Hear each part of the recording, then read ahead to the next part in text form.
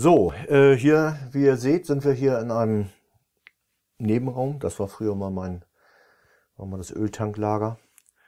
Ähm, hier habe ich eine Schneideplatte. Diese Schneideplatte, äh, da gibt es natürlich verschiedene Möglichkeiten. Dies ist einfach eine ganz normale Pressplatte, Pressplatte, die auf der einen Seite rau, auf der anderen Seite glatt ist.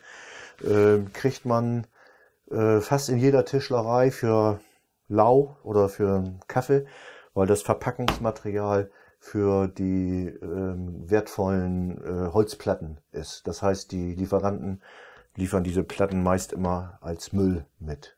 Ja. So, dann brauchen wir ein Lineal. Ich habe mir hier so ein, äh, ein Plexiglasstreifen gemacht mit einmal mit Zentimeter an oder Millimeter Angaben. Dann hier auch nochmal um Breiten einmessen zu können. Dann brauchen wir den Rollenschneider. So, und jetzt kommen wir zu einem, das wird immer viel, überall steht dann, oh, da müsst ihr dann Transferklebeband oder, oder man kann auch diesen ähm, Scotch 77 Sprühkleber nehmen. Das habe ich mal versucht, aber mit dem bin ich überhaupt nicht glücklich geworden. Da backten mehr die Finger, aber nichts war am Modell, wo es hin sollte. Und ähm, dann kam das auf. Ich glaube, das habe ich von, die Idee ist, glaube ich, von dem ähm, Lloyd Wackermann aus Holland, äh, der dann aber schrieb, man muss das im ganzen Karton kaufen, also sprich irgendwie 40, 50 Rollen, äh, geht gar nicht. Aber mittlerweile mache ich natürlich wieder Werbung, Amazon.de, 33 Meter für irgendwo 12, 13 Euro. Das heißt, man kommt da relativ lange mit hin. Es gibt zwei verschiedene Stärken. Es gibt ihn einmal in 19 Millimeter. Die benutze ich beim Flächenbau und für die äh, Scharniere in den Flächen.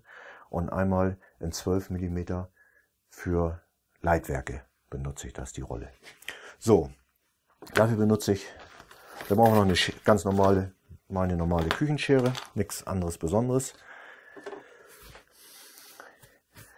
Ich schneide das Gewebe dann so, hierfür benutze ich ein ganz normales Glasgewebe für die Nasenleisten. Das ist ein 50 Gramm Gewebe, also das heißt 50 Gramm pro Quadratmeter. Ähm, naja, dann lege ich hier einmal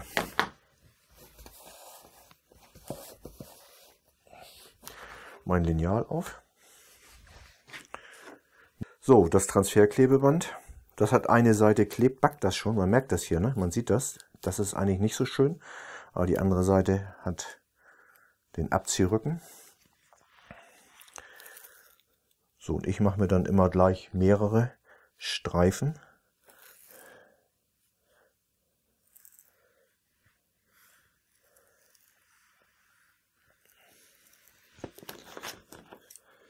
Ich mache das mal bei zweien vor. So, dann klebe ich den nächsten einfach daneben.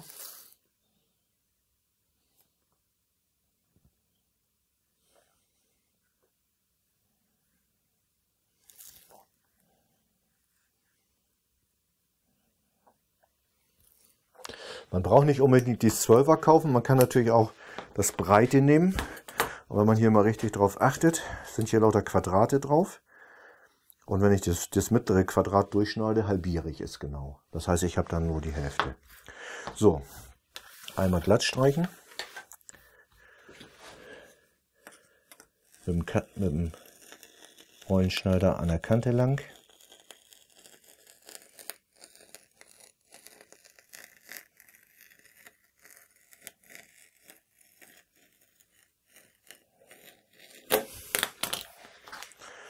So, dann habe ich einen Streifen. Schere angesetzt. Braucht man nicht mal die Hand bewegen. Schneide es einfach so, letzte, letzte Rest. Und schon habe ich einen Glasstreifen auf der Rückseite mit doppelseitigem Klebeband. So, äh, man gibt, es gibt natürlich noch eine andere Möglichkeit, hat Norbert mich gerade mal eben darauf hingewiesen. Wir haben das früher mit, äh, mit einem Uhu-Stift gemacht oder mit einem Prittklebestift. Äh, dies ist aber eigentlich viel eleganter, weil ich schneide mir dann wirklich äh, diverse Streifen, zum Beispiel hier Kevlar-Gewebe oder auch Glasgewebe, mache ich mir da gleich mehrere davon hier mal eben fertig gemacht. Ich habe gesehen, das geht rucki zucki. Hat man für einen Augenblick Ruhe und braucht das ganze Equipment nicht wieder hervorholen.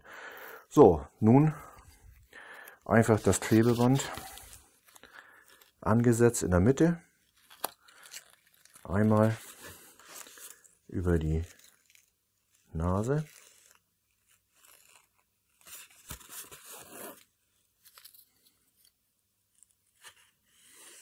Ihr braucht auch keine Angst haben, dass sich die Nase nachher ablöst. Äh, wir haben beim für die Hallenflieger im Depron mit diesem doppelseitigen Klebeband zusammengeklebt.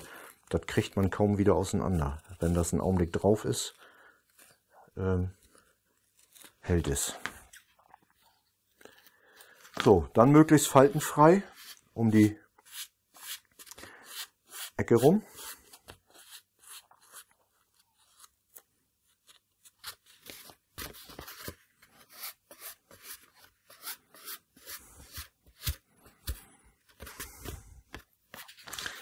Ecke abgeschnitten. Und fertig ist unsere Nasenleiste mit Ruder. Dieses Ruder ist jetzt laminierfertig. Das fertige Ergebnis ist das hier. Das ist der Urzustand.